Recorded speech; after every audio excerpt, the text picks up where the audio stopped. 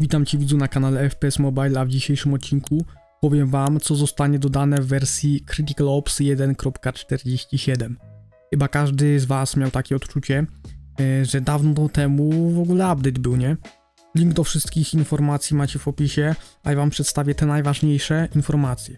Pierwszą z nich jest e, rynek. Marketplace został ulepszony o nowy system dopasowywania ofert, Dodano automatyczne finalizowanie transakcji, czyli sam rynek będzie skanował w poszukiwaniu ofert i automatycznie je uzupełniał. E, działa to również w przypadku wielu przedmiotów, na przykład ze stworzonej oferty kupna na 5AK47 KOI za dajmy na to 1200 kredytów. Rynek znajduje 5 takich ofert w podobnej kwocie do tej i ją ustawia na 1200 lub mniej. Ta zmiana uniemożliwi wszelkie oszustwa i rozdawanie skinów e, po taniości. Tutaj macie screen e, z mniejszymi zmianami w rynku, e, więc radzę wam go przeczytać, abyście dobrze wystawili swoje skiny na przyszłość. Nowe ikony. Pamiętacie jak ostatnio na rankedzie mówiłem, że fajnie by było, jakby twórcy dodali takie ikony jak kill, będąc oślepionym i tak dalej. W tej wersji 1.47 takie ikony zostaną dodane w wyświetlanych się zabójstwach na serwerze. E, a są to oślepienie, no-scope, zabicie w dymie, czy to skan przez dym oraz wallbang.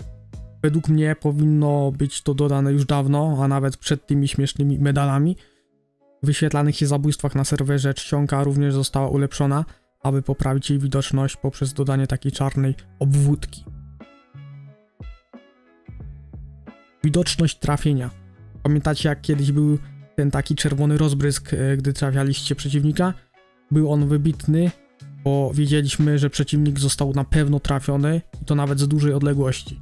Niestety ten rozbrysk został usunięty i zastąpiony no takimi dziwnymi iskrami, gdy strzelisz na przykład headshota. E, no i widoczność tych iskier została właśnie polepszona. Balans rozgrywki. Cena za granat fragowy uległa zmianie z 500 do 300 e, dolarów.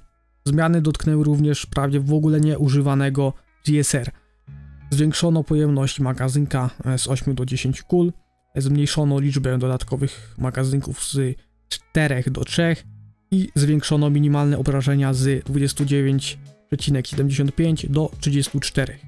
Digl za to stał się bardziej trudny w opanowaniu, zwiększono współczynnik rozrzutu z 4 do 5, zwiększono rozrzut na strzał z 400 do, do 1500, zwiększono regenerację odrzutu z 11 do 15, no i zmieniono krzywą, taką linię podczas naszego full auto z Digla.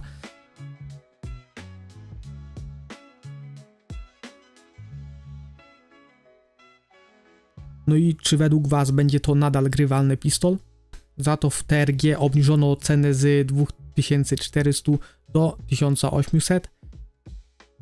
Postać.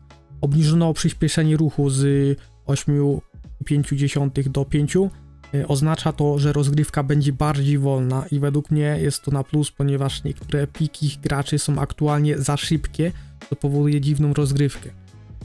Personalizacja celownika i znaczników trafień. Dodano ustawienie koloru celownika po najechaniu na wroga, dodano ustawienie rozmiaru znaczników trafień, dodano ustawienie kolorów dla znacznika normalnego i ostatniego trafienia. Podsumowując mnie to w sumie chuj obchodzi, bo ja chcę celownik na kropkę ustawić na przykład, a nie tworzyć LGBT celownik, nie? Reszta zmian dotyczy map i zmiany e, nazw animacji, więc jak jesteście tym zainteresowani, to gdzieś wyświetla wam się tutaj to na ekranie, ale również link macie w opisie.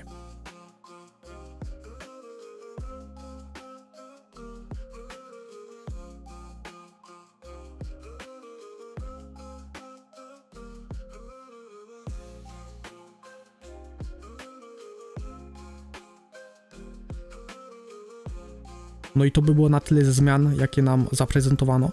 Wersja beta e, Critical Opsa jest już dostępna, więc większość zmian możecie już sprawdzić. No i jak widzu w sumie oceniasz te zmiany, bo e, według mnie są one w większości praktyczne, ale powinny się znaleźć już dawno w grze.